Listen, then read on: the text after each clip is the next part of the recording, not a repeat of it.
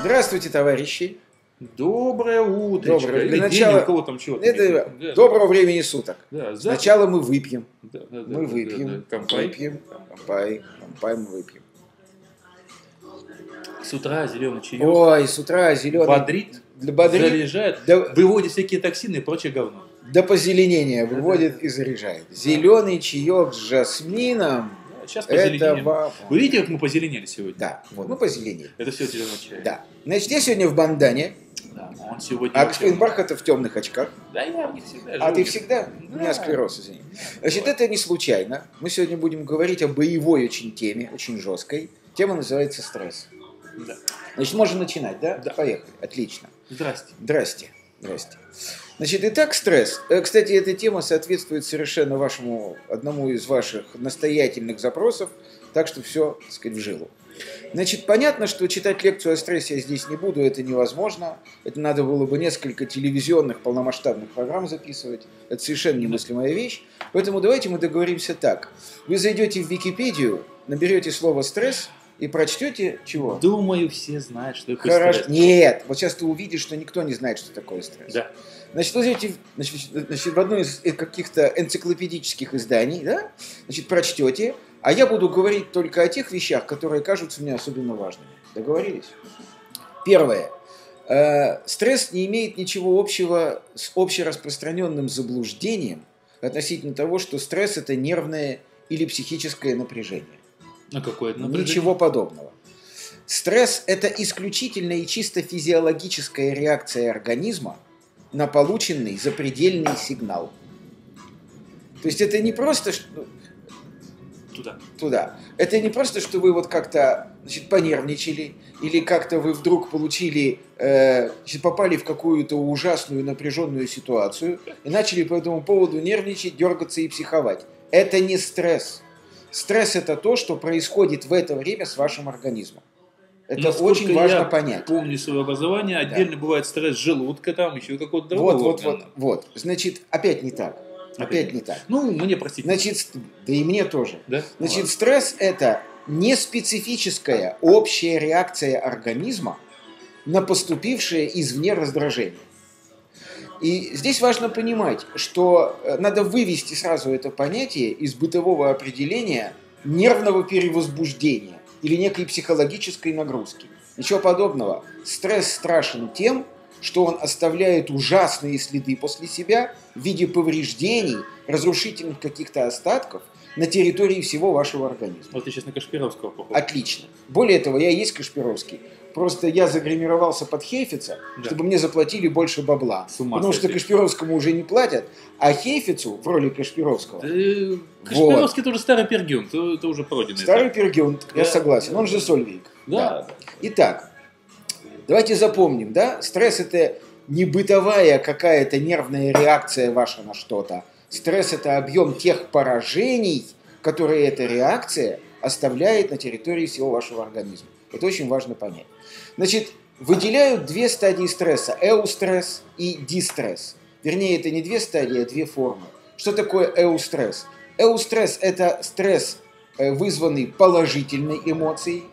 Долго вы не видели свою девушку, и вот она пришла, и это для вас стресс, вы ее обнимаете. Да, да, да, я представляю даже этот стресс. Ну хорошо, не Его девушку, называют, его называют в народе порнографией. Ничего подобного. Порнографией называют реакцию народа на этот стресс у того, кого снимают в порнографии. Ты опять все перепутал. Да я что путаю. Итак, эустресс – это либо положительный стресс, либо это стресс э, незапредельный, то есть стресс, находящийся в определенных границах нормальной значит, реакции организма. Дистресс – это либо стресс запредельный, либо стресс, который, э, значит, ответ на который превышает возможности организма. Вот это надо очень точно понимать. Далее. Смотрите, в развитии каждого стресса есть три стадии. Первая стадия – стадия тревоги. Вы готовитесь ко вхождению в стресс. Поступило некое известие о том, что с вами что-то будет, вы предчувствуете что-то или вы чувствуете что-то. Это стадия тревоги. Вторая стадия – стадия напряжения, когда вы в стрессе. И третья стадия – стадия выхода или э, стадия подсчета нанесенного ущерба. Вот так могу сказать, да? Понятно, что самое страшное это третья стадия, когда организм, как э, значит, у Лермонтова, тогда считать мы стали раны. То есть ваш организм начинает подсчитывать, во что обошлось ему предчувствие вот этой стрессовой ситуации и пребывание. Да-да-да, я представил. Сидит и на калькуляторе высчитывает, Так и сколько есть. сейчас Так и ему- есть. И это, да, и кнопочки на этот калькулятор нажимает гипоталамо-гипофизарная система. Ой, господи, О, господи. подкорка, подкорка, подкорка, Свет, свет, свет. подкорка. Да, да, да. Вот. Значит, э, теперь, когда мы с вами все это поняли, нам с вами легче осознать, что, во-первых, жизнь без стресса невозможна, потому что есть всегда эустресс, да? Во-вторых, стресс необходим, потому что стресс, э, значит, в рамках эустресса, это тренировка вашего организма на жизнь. Знаете, это вот похоже как вот, значит, на то, как работает иммунная система. Если иммунная система не будет знать, в кавычках, о наличии в организме инфекционного начала, она не будет вырабатывать антитела. И человек умирает. Точно так же нужен стресс для того, чтобы все системы вашего корабля умели...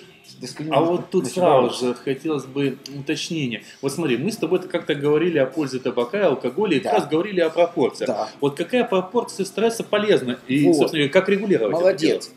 Э, Значит, регулировать это мы не можем. Это регулирует сам организм. То есть вообще никак. Вообще То есть никак. даже если мы там дзен-буддисты, мы брахманы, даже это не поможет регулировать Нет, получаемый это стресс. ты путаешь. Это ты путаешь. Дзен-буддисты и, я не знаю, значит, брахманы или брахманы. Ну, Хорошо.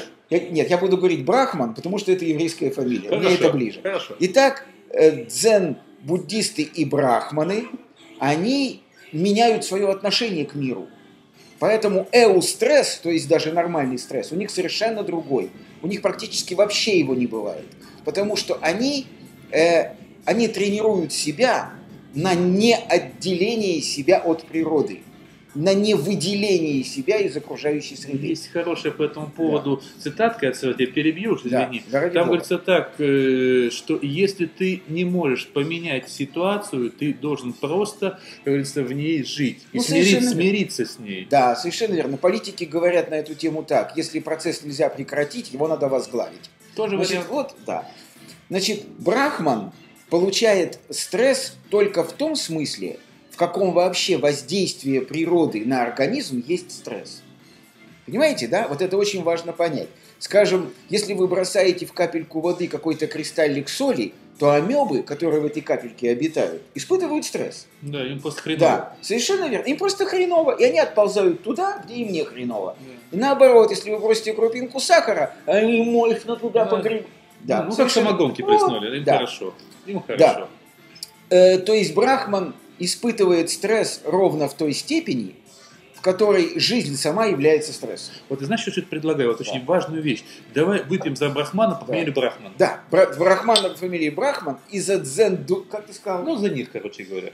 Нет, ну дзен... Дзен-буддист. За дзен-буддиста по фамилии Дзен-буддистович. Хорошо, Да, давай да. Да, да. И продолжим. И продолжим. М, Зеленее на Итак, товарищи, дзен буддисто- да, да и, ладно. и- и Брахман начинают продолжать. Да, да, да, да, да. То есть, ну, Ну, да, где-то окей, там. Да. Итак, э, эустресс и дистресс. Стадии, значит, разобрали. Теперь, э, значит, сразу возникает вопрос. Можно ли без стресса жить, как я уже сказал? Невозможно. Что можно? Можно сознательно, совершенно, путем правильного поведения ограничить тот объем разрушений, который нам нанесет стресс. Что нужно делать? Значит, смотрите, поведение человека правильное зависит от стадии, в которой он находится.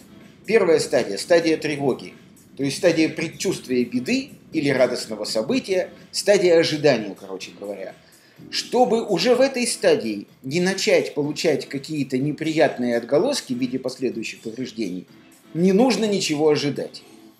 Ну, это тоже Не- должно, опять же, управлять сознанием, чтобы уметь Совершенно- заставить себя не ожидать. Да, совершенно верно. То есть вот в этой стадии поведения человека во многом может не допустить развития вот этих последующих ужасных физиологических постстрессовых повреждений, к числу которых относятся, кстати, и язва желудка, и уменьшение тимуса, и увеличение надпочечников, и огромное количество всяких неприятных... Ну, все соматические микробов. со- Все соматические состояния практически.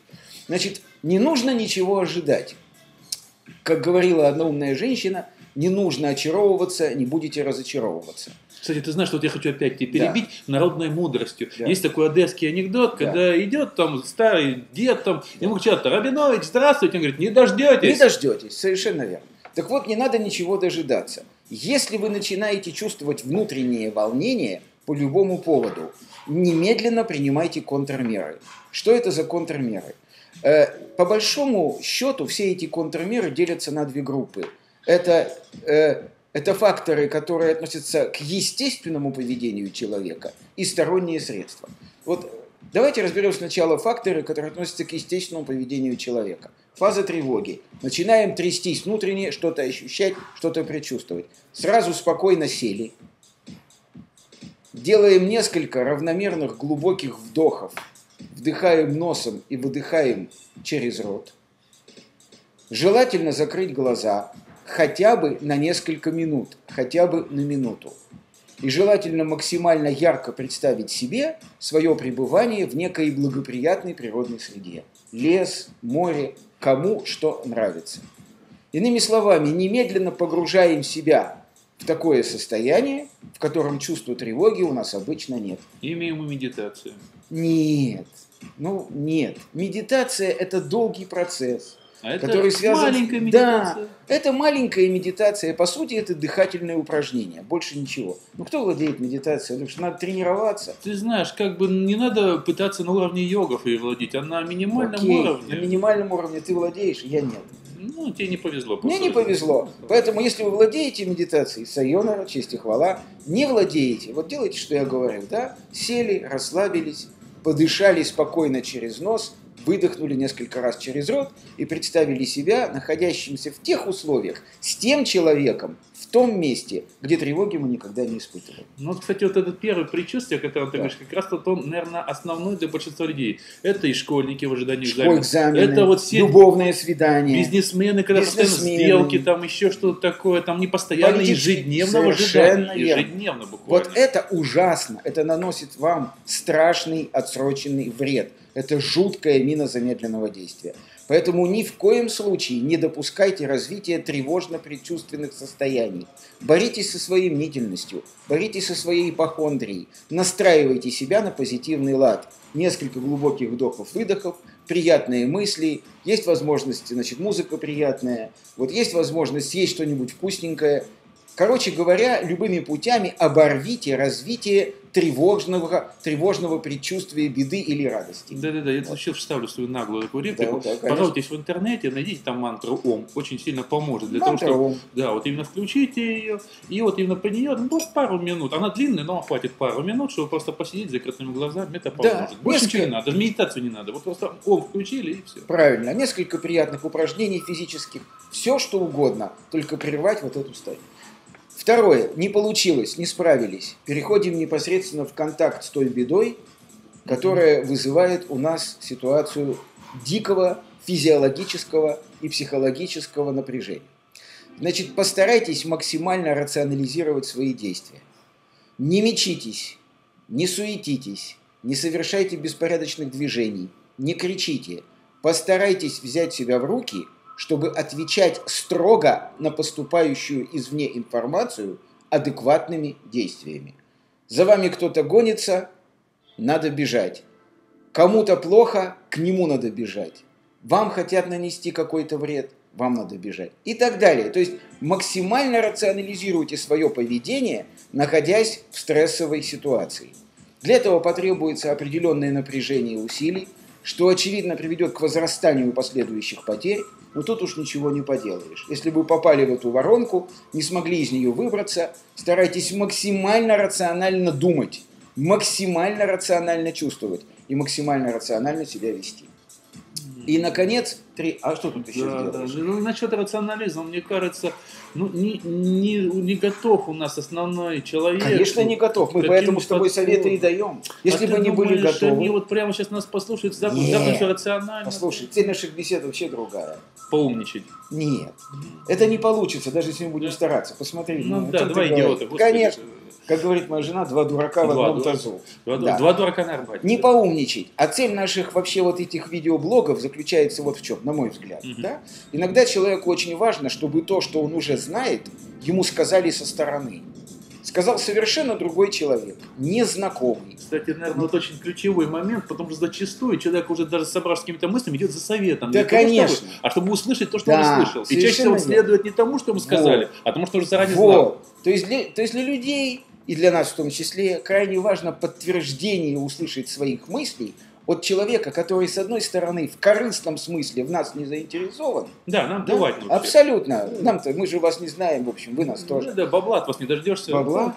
Точно нет? Да хрен его знает. Ты посмотри на них. Ну ты, пос- вот ты посмотри на это, вот это, Не, вот, подожди, вот, ну- вот, вот на того посмотри. подожди, подожди, мы точно бабла не дождемся?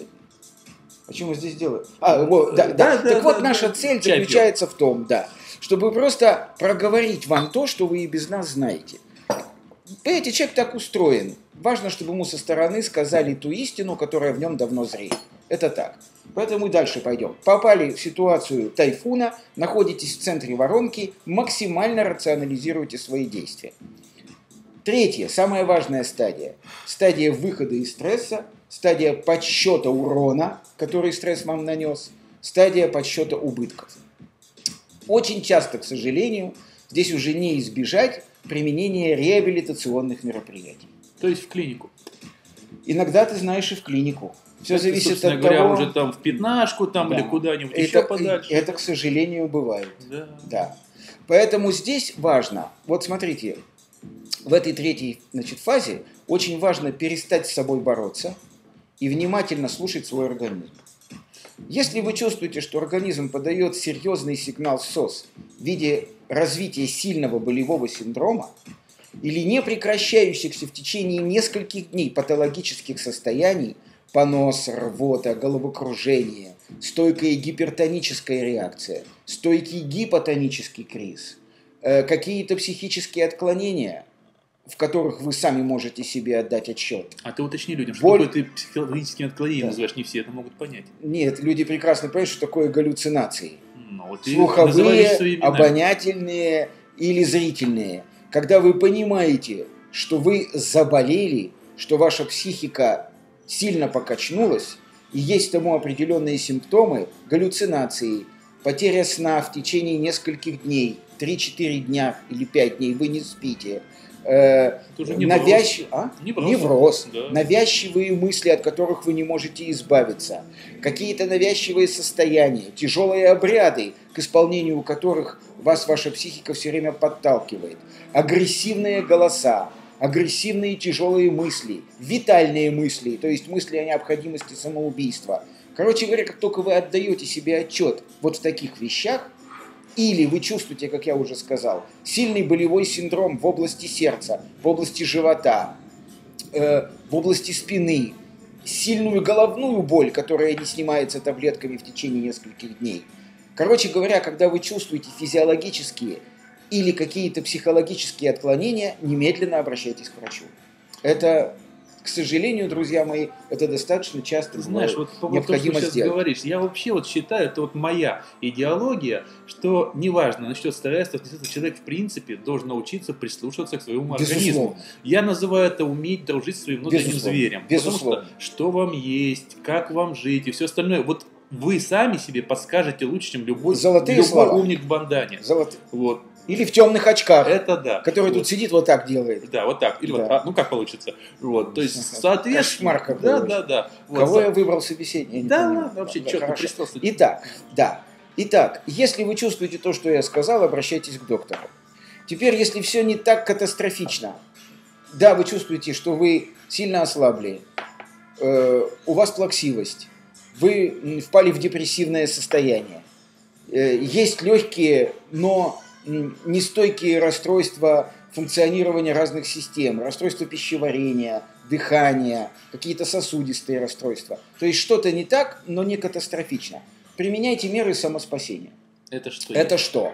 Э, Это седативные чаи, самые разнообразные. Переведи на русский. Лучший из них это зеленый чай с добавлением мяты, корня валерьяны, ромашки, э, пустырника. То есть вот это называется Зеленый да, чай. зеленый чай. tea. Да, Green tea. да. Или есть просто в аптеках продаются так называемые Травяные. седативные травяные чаи. Далее, э, это ароматические, не горячие, теплые ванны с ароматическими солями. Далее, это ароматерапия, то есть несколько капель, не- несколько капель значит, эфирного масла э, один-два раза в день. Какого? Я думаю, что Апельсин? самое лучшее это лаванда. Лаванда? Лаванда. Самое лучшее масло, которое релаксирует вас в этом смысле, оно летучее, оно очень хорошо пахнет, и оно успокаивает человека совершенно зримо, это лаванда. И, вот, и, кстати, в любой аптеке продаются набор вот этих Да, вот это масел. можно купить в церкви. Да. Сейчас церковные Можно лавки, там купить. куча всяких масел. Совершенно верно. И как бы, мне кажется, вот, в принципе, мира тоже. Далее, неплохо. неплохо. Да. Далее, смотрите, самомассаж. Самомассаж или, конечно, лучше всего массаж с привлечением какого-то специалиста, но можно и самомассаж. То есть поглаживание, легкое поглаживание всего тела. С помощью супруга, подруги, с помощью массажиста или самомассаж, как хотите. Э, Далее, прогулки. Обязательно прогулки, желательно в парке, который под рукой. Очень хороши, на мой взгляд, занятия в плавательном бассейне. Два раза в неделю по 45 минут, причем надо их разнести. Тут ремарочку сделать. Да. Понимаешь, люди начинают ходить в плавательный бассейн, и опять же устраивают себе стресс. Они начинают зачем-то гнаться там. Не гнаться, Вот нет, спокойно, в наслаждуху. Спокойно в наслаждуху, в расслабуху плаваем. Вообще кайфовее, на самом деле, это пойти не э, в фитнес-центр, а лучше снять сауну за небольшие деньги с бассейном. Это не очень дорого стоит. Можно так, А вам там не будет никто мешать. можно так. Это стоит не Согласен. дороже, но намного лучше. Теперь сауна сама Да. по себе хороша. Очень хорошо. Вот, плюс и бассейн, где вам Да. никто не будет путаться под И ногами. бассейн это страшное слово, больше его никогда не говори. Ладно, не Ладно? И бассейн не И бассейн не буду. Все, хорошо. И бассейн не буду. Теперь, значит, смотрите.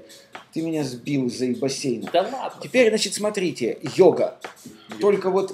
Не-не-не, я сейчас все объясню. Не вот эти вот ногу, э, ногу за голову, А а, палец, голове? а палец руки при этом глубоко ввести в анальное Ох, отверстие, сильно. стараясь достать гипофиз. Слушай, мне понравилось. Не это. Особенно не гипофиз. Это, не ты- это, ты его не гипофиз. перепутал с Если ты. Нет. Если ты ввел палец в анальное отверстие и гипофиз не достал, это совершенно все бессмысленно. Ой, ты и палец испортил, и вообще, да. Поэтому Ну вот сразу видно, человек работал проктологом. А, Он знает, что искать в анальном отверстии. кем я только не работал. Господи, куда Я не знаю, я- нет такого отверстия, где я бы чего-нибудь, а, не знал, чего искать, б, не нашел бы. О, господи, Так гипофиз что- точно нашел, ладно. Господи, легко. Так вот, значит, не это вот йога, нет. То, что называется стрейчинг, то есть какая-то растяжка, да, правильное дыхание, растяжка, то есть европейская йога, вот что я скажу, да, очень хорошо. Сильно звучит. Европейская Наконец, йога. я хочу сказать о том, что сейчас появился ряд физиотерапевтических аппаратов последнего поколения, Мгм. которые очень хороши в любой стадии стресса. И в стадии тревоги, и в стадии пребывания в стрессе, и в стадии выхода из стресса. В частности, альфария. А, это который ты занимаешься. Да, да, это замечательный Ну, физиотерапевтический Я думаю, лучше, лучше отдельно запишем, потому что Это отдельно, да. отдельно Ну просто должен упомянуть о ней. Да, Вот. это, то есть, Да. это, в принципе, человек может дома сам, как говорится, Конечно, слушать. безусловно. Но это мы потом Да, отдельно понятно. расскажем. Ага. Итак, смотрите, видите, как много всевозможных способов и методов для того, чтобы по возможности уменьшить тот страшный ущерб, который организму нанесло максимальное напряжение всех его сил. Вот. Поэтому э, надо только еще отдельно заметить, что вот с этим выходом не нужно торопиться, потому что последствия перенесенного стресса есть немедленные, есть отдаленные. Поэтому вот все эти мероприятия, о которых я вам сказал, их не нужно рассчитывать на неделю, на 10 дней. Я полагаю, что не меньше месяца нужно провести в щадящем режиме для того, чтобы увидеть, что вы как-то смогли купировать последствия вот этого страшного напряжения, которое вы испытали. Вот, собственно, что я хотел сказать о Ты стрессе. знаешь, а вот тут о стрессе, я думаю, что надо добавить одну великую вещь, то, что, вот, ну, я от себя тут, э, ты будешь, как говорится, сейчас тут умничать, ну, Мгм. смотри, э, у нас в последнее время в связи с э, победой над коммунизмом, Да. вот, слава богу, победой над коммунизмом, Да. у нас... Итак, он- В связи с победой национал-большевизма над коммунизмом. Да черт Уточняй. ним. Нет, Да. ну черт, чем, Да. чем? Я даже Да. не в этом, я Да. не к чему хочу сказать. Да. У нас народ бросился э, молиться не на портрет Ленина, а на иконы, что вроде бы хорошо, с одной стороны, другой стороны, совершенно бездумно впадать во всевозможные посты, причем совершенно зачастую не отдавая себе отчет, э, можно людям это делать, с каким здоровьем ходит. Ведь Великий пост, я, как человек, который хорошо понимает, про что говорит, Да. вот, э, это человек на протяжении почти 50 дней отказа во всем и заканчивает это поеданием куличей, яиц и все остальное. Это же, ну, как бы матом не сказать, какой стресс, а? Нет, Вот. Андрюш, я вообще, это отдельная тема разговора. Я только здесь хочу сказать то, что я думаю на этот счет, да. Когда я читаю или слышу, что пост это средство очищения организма от шлаков и токсинов, я впадаю просто в ступор. Вообще пост не имеет никакого отношения к ограничению употребления продуктов. Пост это духовная аскеза прежде всего. Вот тут по поводу духовной, я забыл, по-моему, это Мень сказал, а нет, или, или кто-то пораньше, не помню, ну неважно, есть такая фраза очень интересная, когда его спросили, а, а вот что лучше всего не есть во время поста, Он сказал, вы, главное, людей не ешьте. Совершенно и себя. Да. Потому что меня вот это вот поражает история, хотя совершенно тема другая, когда люди, скажем так, э, яичко там не съедят, еще что-нибудь такое, но потом придут и пол Москвы обманут. Совершенно верно. Или матом тут же в метро кого-то Да, божит. да, да. Это же, это, ну, Ну, это отдельно. Это другая. Я, я да. про другое хотел сказать, Да. именно как пост и вот подобные вещи, э, именно в э, разрезе стресса, потому что это же стресс, оно вызывает колоссальный стресс организма. Во-первых, этот перепад, то есть сперва человек, который жрет ну, буквально на масленицу все, Ну, конечно, это ужасно. бах, начинает ничего не есть, Ну, а конечно. потом опять же заканчивается бахом, начинает жрать э, куличи, Ну, яйца. конечно, ужасно. Ну, конечно, ужасно. Ну, стресс же бывает, да, термический, химический, механический, наверное, психологический, да, антропогенный, да. И вот этот вот так называемый пост – это самый настоящий химический стресс, потому что биохимия организма просто летит напрочь. Надо, если человек не понимает, что он делает, всегда будет плохо. Мы Каким бы говорили благим уже. делом он Мы занимался. говорили Мы про говорили. сбалансированное Да. питание, про Да, все ну, это, остальное. да, что возвращаться. Да, да, да. Поэтому Так мне сейчас хотелось бы выпить, друзья мои, за то, чтобы вы э, стали все брахманами или дзен Не матерись. Не матерись. ми- с тем, чтобы не допускать попадания себя, попадания себя в стресс или попадания стресса в вас. Это самое главное. Гоните- Любите мир, Гоните его в топку. гурните его в топку. Да, ну Любите мир, любите себя в нем и мир в себе, и все будет хорошо. Кстати, вот насчет любви. В Библии есть такая фраза, где, собственно говоря, учат э, возлюби ближнего как себя самого. Не Да. больше, не меньше, Да. а как себя А самого. больше невозможно, Да. по-моему. Нет, возможно. Возможно. Да, когда люди отдают больше, чем берут, это очень часто встречается. Отдают больше, чем берут, это они сразу. А потом они берут больше, чем он, Может потом. быть, не берусь. Но сам фа- факт заключается в том, что человек должен научиться любить себя, и тогда он сможет любить других. Безусловно, сто процентов. Поэтому любите себя. А если уж вы попали в стресс, грамотно себя в стрессе ведите, грамотно выходите из него и будьте здоровы и счастливы всегда. Как ты говоришь это слово? Лыхаем, я говорю. Лыхаем он говорит, да. Он говорил другое слово, ну хорошо. Компания. Лыхаем. Ну, или там как он. Ну или как он, да.